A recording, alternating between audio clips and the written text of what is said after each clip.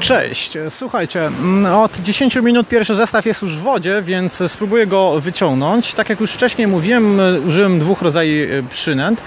E, Jeden to był filecik, z drugiej, na drugim haczyku e, miałem 5 dendromen czwórek e, owiniętych tą taśmą taką, co kupiłem e, e, w sklepie, taką, nie taśmą, sorry, taką żyłką cieniutką, e, coś a gumka.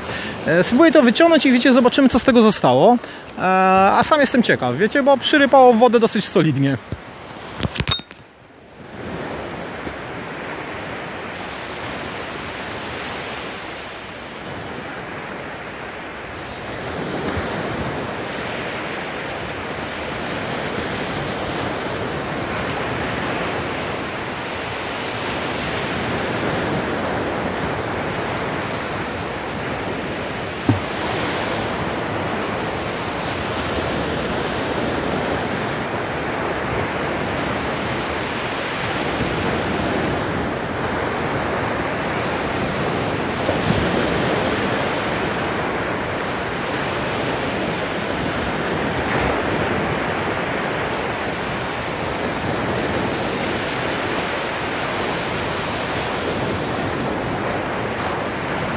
Okej, e, zaraz Wam pokażę, nie wiem czy to będzie widać, wiecie. E,